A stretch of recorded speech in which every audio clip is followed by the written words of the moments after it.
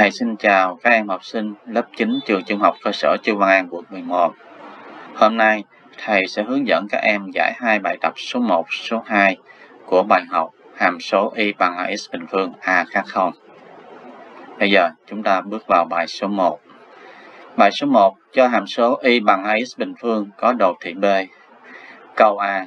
Tìm hệ số A biết đồ thị B và điểm A có tọa độ trừ 2, 2. Vẽ đồ thị B với hệ số A vừa tìm được. Câu B. Điểm nào thuộc đồ thị B? Vì sao? Điểm C có tọa độ căn 2, 1. Điểm D có tọa độ trừ 4, 4. Câu C. Tìm tọa độ điểm M, điểm N thuộc đồ thị B. Biết điểm M có hoành độ là trừ 3, điểm N có tung độ là 5. Câu D. Tìm tọa độ điểm E thuộc đồ thị B biết điểm E có hoành độ bằng hai lần tung độ. Đó là nội dung của bài số 1. Bây giờ chúng ta bắt đầu giải câu A. Câu A tìm hệ số A, biết đồ thị B đi qua điểm A có tọa độ trừ 2, 2. Vẽ đồ thị B với hệ số A vừa tìm được. Rồi, bây giờ chúng ta tiến hành giải phần thứ nhất. Do điểm A có tọa độ trừ 2, 2 thuộc đồ thị B, tại vì B đi qua điểm A, mà nguyên tắc khi một điểm thuộc đồ thị thì chúng ta có quyền lấy hoành độ và trung độ của điểm đó thay vào công thức xác định hàm số của cái đồ thị đó. Vậy chúng ta tiến hành giải như sau.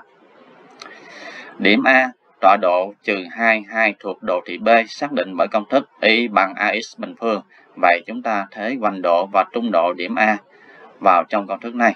Chúng ta có được cái đẳng thức sau đây. Và giải bài toán này chúng ta tìm được A bằng 1 phần 2. Vậy chúng ta xác định được công thức của cái hàm số này là y bằng 1 phần 2x bình phương. Vậy là sau khi đã xác định được hàm số này rồi thì chúng ta tiến hành qua câu kế tiếp là vẽ đồ thị B của hàm số này. Thì như chúng ta đã biết, hàm số y bằng ax bình phương thì tập xác định của nó là tập số thực R. Rồi, cái thứ hai, để vẽ nó chúng ta lập bảng giá trị. Thì trên bảng giá trị này chúng ta chỉ cần 5 giá trị của x và chúng ta sẽ tính được 5 giá trị tương ứng của y. Và trong cách tính là chúng ta chỉ tính những giá trị y bên nhánh x dương và chúng ta điền kết quả vào y ở x âm. Giờ chúng ta có 5 điểm và 5 điểm này sẽ thuộc cái đồ thị B và chúng ta tiến hành vẽ đồ thị B. Và như chúng ta đã biết, do hệ số A bằng 1 phần 2 thì lớn hơn 0, mà lớn hơn 0 thì đồ thị của nó nằm trên trục hoành. Đó là điểm thứ nhất. Và đặc điểm thứ hai và hai nhánh của đồ thị này nó sẽ đối xứng với nhau và trục tung. À, đó là việc chúng ta kiểm tra lại chúng ta vẽ đồ thị đúng hay sai. Thì chúng ta đã hoàn thành câu A một cách dễ dàng, không chuyện gì khó khăn hết. Bây giờ chúng ta tiến hành qua câu B. Câu B, điểm nào thuộc đồ thị B? Vì sao? Điểm C có tọa độ là căn 2, 1. Điểm D có tọa độ là trừ 4, 4. Bây giờ chúng ta thử điểm C.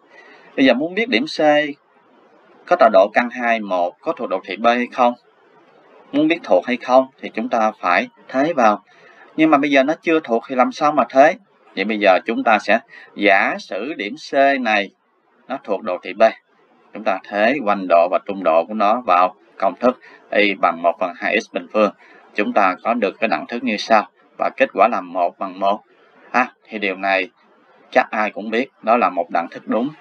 Mà nếu điều này đúng thì cái điều giả sử chúng ta là đúng. Vậy chúng ta kết luận. Vậy điểm C tọa độ căn 21 thuộc đồ thị B xác định bởi công thức y bằng 1 phần 2x bình phương. Vậy điểm D thì sao? Cách làm cũng tương tự như vậy. Chúng ta giả sử điểm D nó thuộc đồ thị B.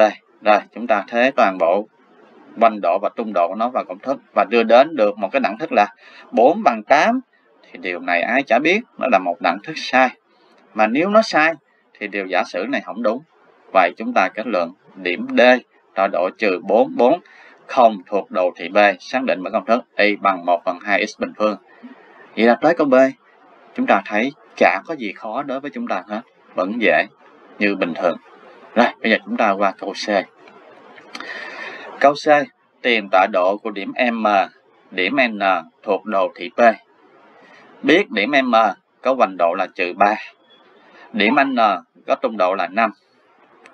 Rồi, bây giờ tìm tọa độ điểm M. Thì ở đây chúng ta chỉ có hoành độ của điểm M là trừ 3. Vậy chúng ta còn thiếu trung độ của điểm M.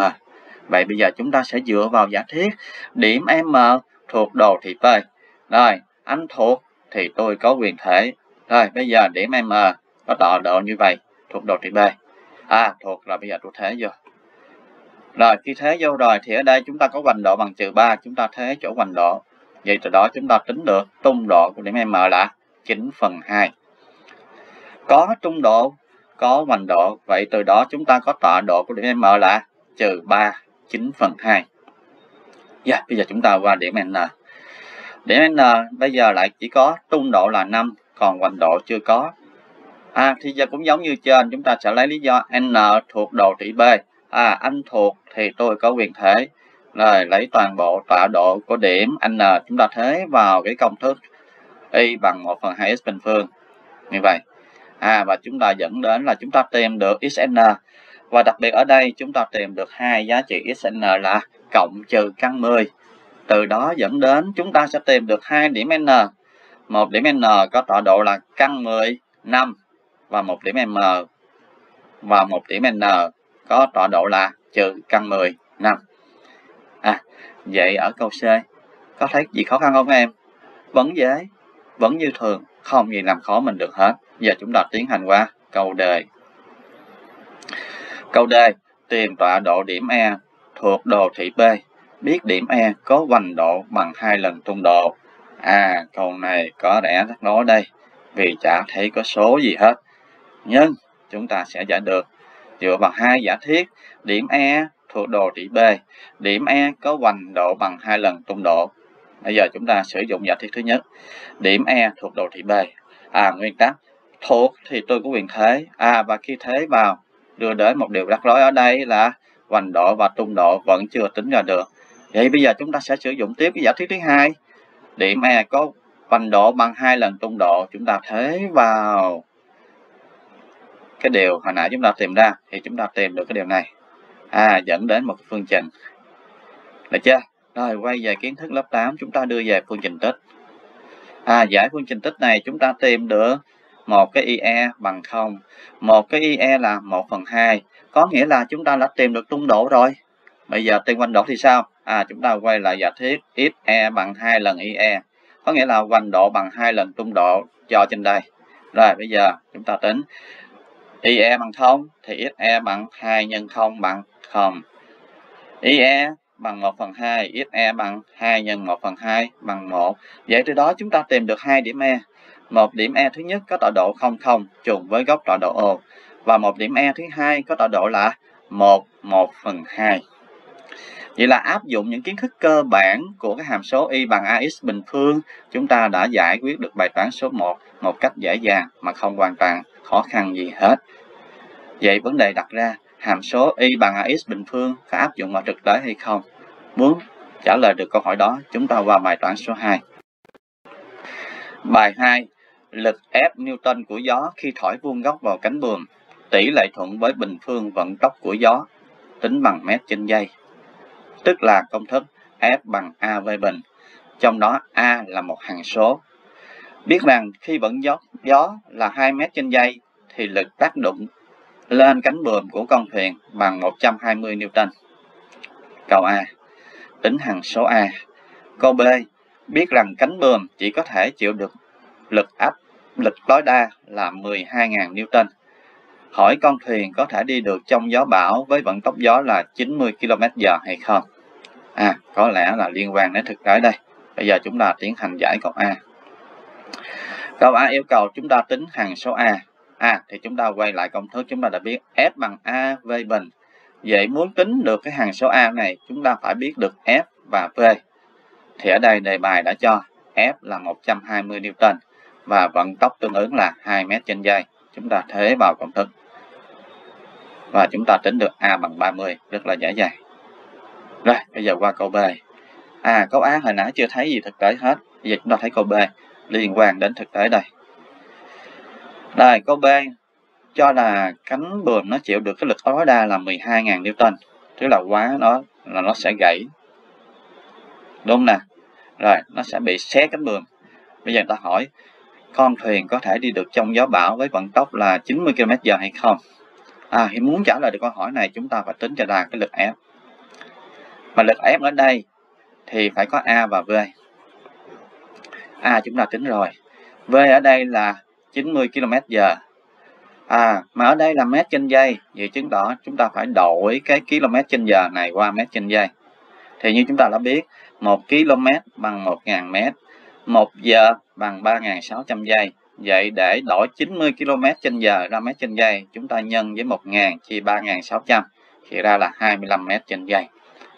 Rồi, vậy là có đủ A là 30, V là 25 mét trên giây. Chúng ta thấy vào công thức, chúng ta tính được con số là 18.750 Newton. Thì với con số này nó lớn hơn cái lực tối đa mà cái cánh buồm nó chịu được là 12.000 Newton. Chứng tỏ là chúng ta trả lời được câu hỏi là con thuyền này không thể đi được trong gió bão với vận tốc là 90 km/h. À, vậy là các em đã thấy một bài toán nhỏ này đã áp dụng được cái bài học y bằng ax bình phương a khác không vào việc giải các vấn đề thực tế mà chúng ta gặp phải. Thầy hy vọng qua bài học ngày hôm nay, thầy đã hướng dẫn các em áp dụng được một số điều mà chúng ta có thể đưa vào khi chúng ta học ở cái bài hàm số y bằng ax bình phương.